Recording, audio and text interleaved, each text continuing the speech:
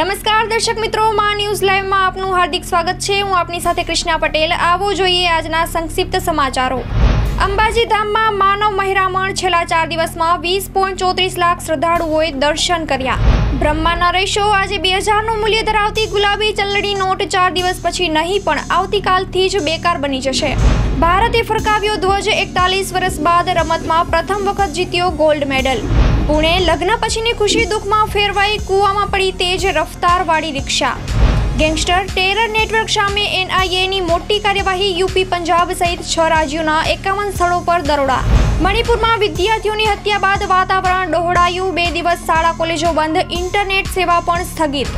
Rajkot IG dam વિસ્તારમાં લોકોને આંખ ગળામાં બળતરા અને શ્વાસ લેવામાં તકલીફ પડતા તંત્ર થયું દોડતું. રાજ્યવાસીઓને થશે ગરમીનો અનુભવ. ઉત્તર ગુજરાત અને સૌરાષ્ટ્રમાં છૂટા છવાયા વરસાદની સંભાવના.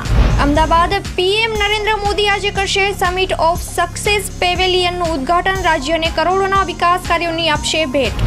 કેનેડાના હાઉસ સ્પીકર એન્થોની રોટાએ આપ્યું રાજીનામું. સંસદમાં નાઝી સૈનિકની કરી હતી પ્રશંસા. ઈરાકમાં લગ્ન સમારોહમાં લાગી ભીષણ આગ. સોના, મોત, એકસો પચાસ ઘાયલ. અઝરબૈજાનના નાગોર્નો કારાબાખમાં ઓઇલ ડેપોમાં વિસ્ફોટ. અત્યાર સુધીમાં એકસો પચીસ લોકોના મોત. પાવાગઢ પર્વત પર દુકાનોનું દબાણ દૂર કરાયા પાણીની સુવિધા શરૂ કરવા ઉઠી માંગ. સૂર્યચંદ્ર બાદ હવે શુક્ર પર ઇસરોની નજર વિશ્વભરમાં વાગશે ભારતનો ડંકો. ખાલિસ્તાની ગેંગસ્ટર્સ પર એનઆઈએની તવાઈ. પંજાબ, હરિયાણા સહિત એકસાથે એકાવન સ્થળોએ તાબડતોડ દરોડા.